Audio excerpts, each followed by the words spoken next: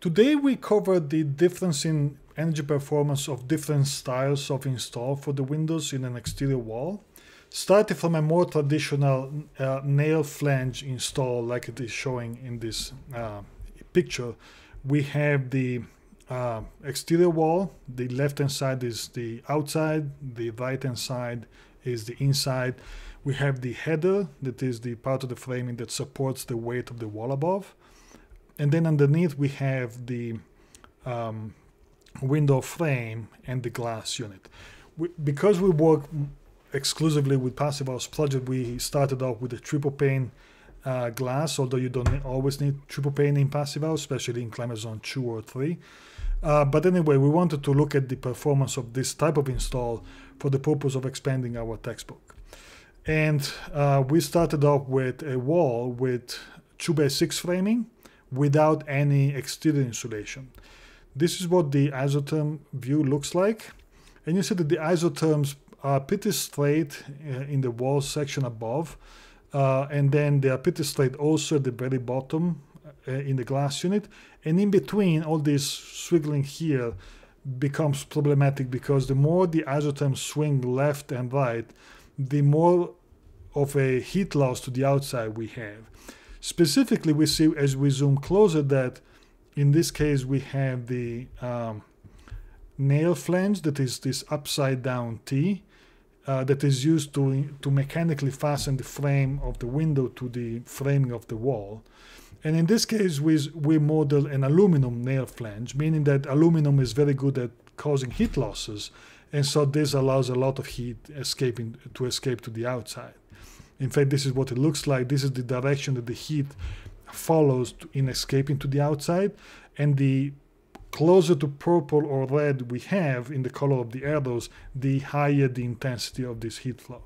You see that this um, this upside down T that is the nail flange comes in basically in between the window frame and the wall rough opening and this allows a lot of heat to escape so that is pretty bad uh, and if we start adding exterior insulation on this, it doesn't get too much better. Let me just switch uh, a little bit. Need to do some live changes here.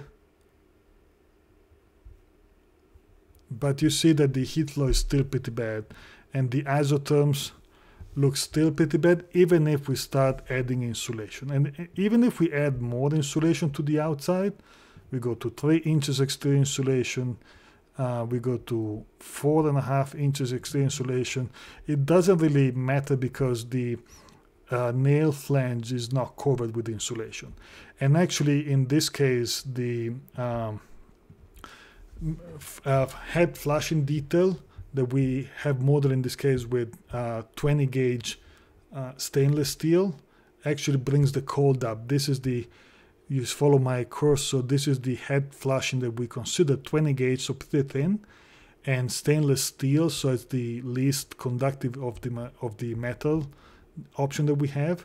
But you see that the it still carries a lot of heat to the outside and the stainless steel flashing collects the heat from underneath the exterior insulation and lets it escape to the outside. So uh, this is not really good in terms of install. You lose a lot of R value that you buy. You buy a high performance window, this is a, an R9 window, and you actually get an R4 installed because of this issue.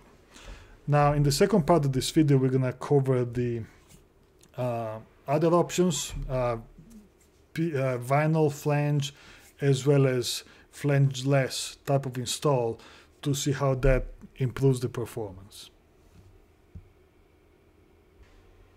Looking at the same detail, we have just switched the material the nail flange is made of. So zooming closer, we have just changed the material this upside down T is made of. We started off with aluminum and now we have switched to vinyl and that makes a big difference in terms of uh, performance. You see that the isotherms go a lot straighter.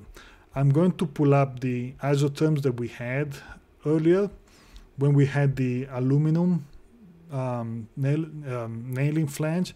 This is what they look like. You see how much the aluminum causes a thermal bridge. So back to the vinyl nail flange, you see the isotherms are, are more straight, there's less left and right switches. It is still pretty um, unstraight, so to speak. We want these isotherms at the wall, at the top, to be lined up with the isotherms at the bottom. And you see that if the this is just a 2 by 6 wall construction, so we have 5.5 inch of insulation on top, and this glass unit is not lined up with that.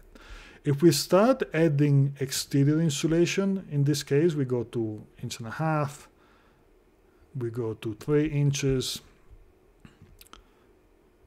4 inches and a half, and 6 inches, you see that this now is a lot more lined up. Uh, the center of the insulation at the top is more lined up with the center of the insulation underneath. And that is great. That is one of the big things that we need to address when we design high performance details like this one. What we have not changed yet in this detail is uh, the type of head flashing. We started off with the um, with the 20 gauge uh, stainless steel. You can still see here. And when it comes to looking at the direction of the heat flow it still looks pretty bad. I'm gonna switch to this. This is the same view. You see how much the the 20 gauge is pretty thin and it's stainless steel so it's not very conductive but it still acts as a highway for the heat to escape to the outside. That is why we, uh, whenever whenever we have a detail like this, we we spec a non-metallic um, flashing detail.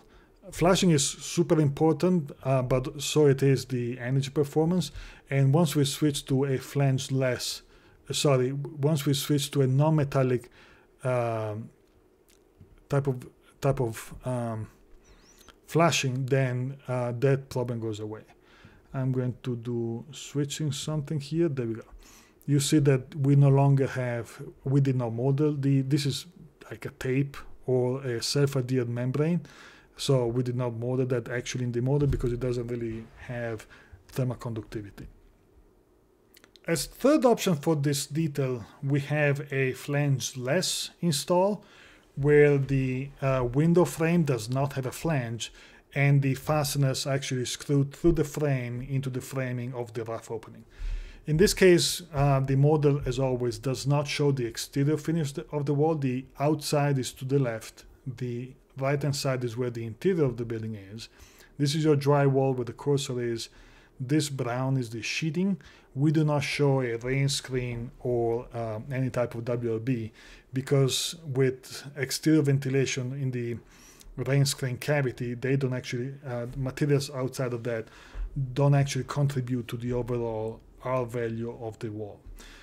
Um, anyway, so this is a detail that we spec often where we the exterior face of the um, window frame is lined up with the exterior face of the sheeting. This makes it uh, a very solid drainage plane.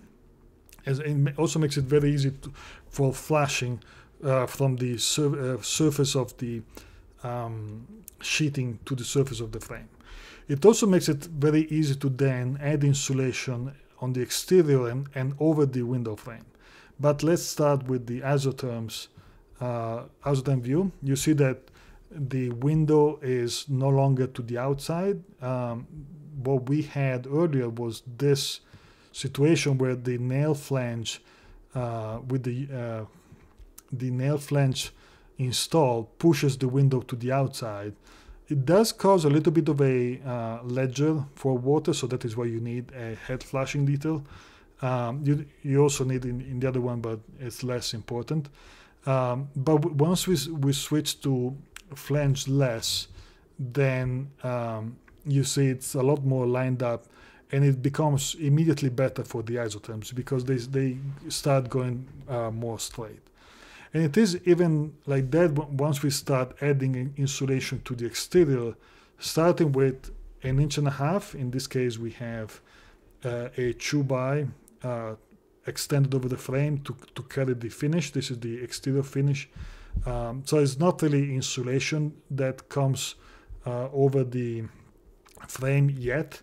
uh, because it's not thick enough. We just have the two by, but this already starts looking better for the isotherms because we now have more isotherms to the left, which pushes um, the body center of the insulation at the top more lined up with the glass unit underneath.